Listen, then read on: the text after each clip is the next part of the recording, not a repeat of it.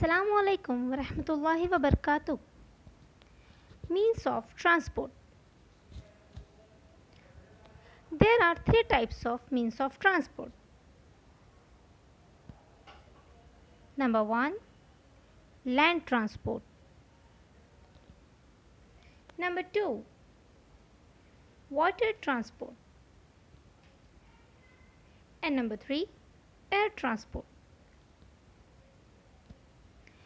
Number 1 Land transport. Traveling from one place to another on land using railways or road is called land transport. For example, bus, car, train, etc.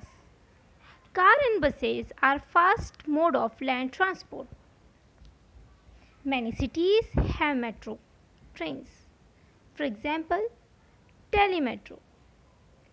Delhi Metro is the fastest mode of transportation in New Delhi. To travel different cities, people use trains. Now I ask you some questions. Give me answer in 5 seconds. My first question is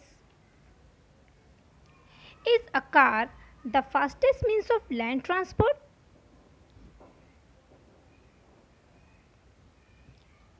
My second question is How many means of transport are there?